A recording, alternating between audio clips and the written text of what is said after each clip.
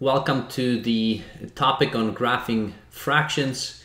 When students are starting off and are sometimes asked to graph a fraction on a number line, uh, they, they don't always um, approach it in the right method. So I wanted to explain in this video on how to graph certain fractions. Now the fractions can get really big, but it's rare that you would be asked to graph a very big fraction uh, with pretty big denominators, but you can be definitely asked to graph fractions which have a little bit smaller denominators. So I just want to show you uh, so that you understand the concept of the graphing. So let's take the first example, for instance, 2 over 3. And we wanted to be able to graph this on, let's say, a some number line. Okay, so here I'm going to draw the number line for us. Okay, so let's say it's going in this direction. And now, because we are graphing 2 over 3, so I'm going to, let's say, make the assumption that this is 0 right here. So if you were going in this direction, it would be negative, okay? And if you're going in the opposite direction, it is positive, which is what we want. So 2 over 3 is uh, more than 0, but it is less than 1. So what I'm going to do is I'm going to put 1 right here. And now what happens with these fractions is you have a numerator and then of course you have a denominator. So when you're graphing, the denominator actually always tells you what to divide your entire whole into. So in this case, our number one, we want to divide into basically kind of three pieces. So we have, okay, so our first piece, okay, and then our second piece, okay, and then our third piece. And what I mean by pieces is the following. So this is kind of your first piece right here, and it's not exactly equal. They should be equal. Okay, this is your second piece, and then this is your third piece. Right? So we have three pieces in total that would make up a whole of one. But our numerator tells us that we only have two of those pieces. So if you were graphing this, you basically would have to only take two of these pieces. So two pieces, and therefore on the graph, okay, your 2 over 3 would be right here. So that's how we would be able to graph this so that we can actually uh, see it. So that's one particular example that we have. Let's now take a look at the second example that we have, which is negative 6 over 7. So in this case, we have a negative fraction. And with negative fractions, so I'm going to graph exactly the same thing in terms of the line. Now, my zero, I will put a little bit to the right. So let's say my zero is here. Now, because of the negative that I have, I'm going to be going into the uh, left direction. So with this, um, so I'm going to put here, so 6 over 7 is, okay, less, okay, so it's right here. Okay, so it's going to be, my negative 1 is going to be right here. Um, and 6 over 7, if it was positive, would have been less than 1, right? But we are going in the negative direction. And in the negative direction, okay, so now in this case, our denominator, which we have is 7. So we have to divide this into basically 7 pieces. And again, so now our seven pieces that we would have, okay, so one, two, three, four, five, okay, and six and seven. And let me kind of redo it so that it is giving us kind of a little bit more of equal spacing. Two, three, four, five, six, and seven. And again, so what I mean by pieces are, so these are my pieces. So that's one piece, second, third, fourth, fifth, sixth, and seventh. So I have seven pieces in total, all right? And now what I have in the numerator is I have a six. So I'm only going to take six pieces. But because it's a negative number, then what we're doing is we're heading in this direction all right so that's what we would want to do is we would want to go in this particular direction so if it was negative 1 over 7 right so negative 1 over 7 that would have been that one piece there negative 2 over 7, that second piece, and third piece, and fourth piece, and fifth piece, and sixth piece. So here is your negative, all right? That is where, okay, your negative 6 over 7 lies. So in the negative direction, okay, you start from the right and you go to the left. And that's how you would actually graph it.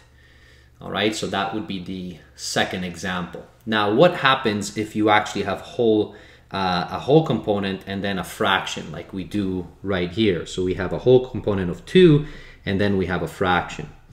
So this doesn't really change for us in any way. So when we're doing our line, so in this case it's positive, so I'm going to put my 0 right here.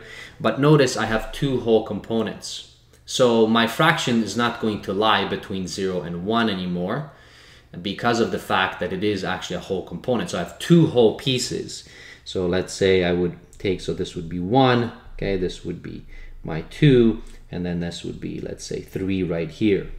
So it's definitely because of this whole component, so it's going to be further, okay, than this 2 right here. So, and now again, so what we're doing is we're going in now in this direction because of the fact that it is positive, right? So that's what I have there. So we're gonna go in that direction. So we're gonna pass 2, but the 1 quarter, so now what I'm gonna do is I'm gonna blow this up so that you can see it. And now between two and three, I'm going to have to break this down into four pieces. So I have, all right, so here are my four pieces. Okay, one, two, three, and four. And that's what I have here because it's a quarter and a quarter just means that I'm going to take only one of those pieces, right?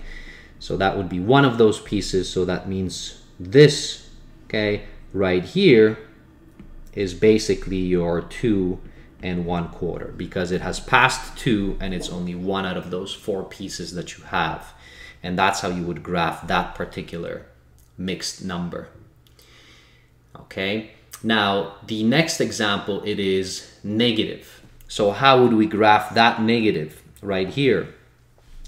So when you're working with these in terms of the graphing components, okay, and because we are dealing with a negative, so we're going to go into the left direction. So let me start at zero and push it back to the right. And then, so negative one, so this is negative one right here, and then it's going to be negative two. Notice that we are going to be passing, okay, the negative one. So we're going to go, and again, so now we're going in basically this direction as we're heading along. So we're going to pass the negative 1. And then now between the negative 1 and the negative 2, so I'm going to blow this up, I have to divide this into five pieces because of the denominator. So, you know, again, you're going in this direction. So this would be one piece, two pieces, three pieces, four pieces, and five pieces. And this is what I mean by pieces. One, two, three, four, and five. And for our case right here, we just want two of the pieces. And again, so remember, you know, don't get caught and start counting your pieces right here, you know, two of the pieces here. Okay, because it's negative, you're starting from the right. So this would be one piece and second piece.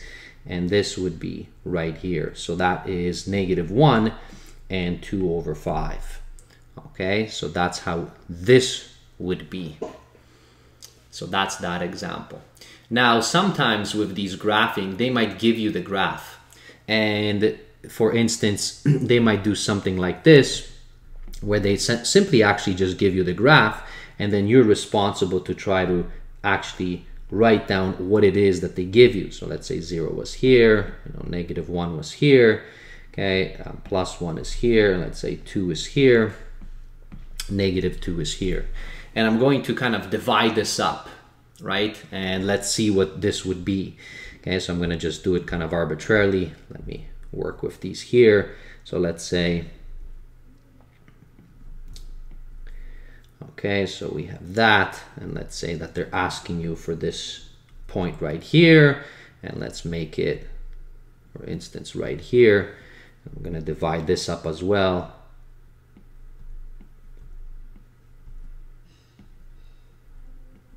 All right, so and they're asking you for this point right here, for instance. All right, so they give you a graph this time and then they say, all right, so please tell me what the point is.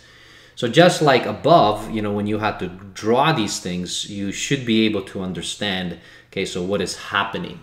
Now, the key thing is always to know, right, so where is my zero here? So my zero is right here. So depending on which direction you're going, you're going to be counting a little bit different.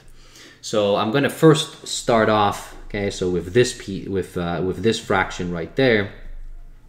So I notice that it is between 0 and 1. And now, just as above, what I'm going to do is, in order to figure it out, uh, I'm going to take, all right, so it's between 0 and 1, and I have one piece, two pieces, all right, three pieces, okay, and four pieces. Maybe let me go back here and then change the color so that it's more visible. One piece, two piece, three pieces, and four pieces. So with that particular one, well, how many pieces do I have? One, two, and three. And out of how many? Out of four pieces in total, right? Because you have four pieces to make up the entire whole. So this, okay, is just three over four or three quarters. That would be your actual fraction that you actually mapped. That is right there. So that's what we do when we're counting.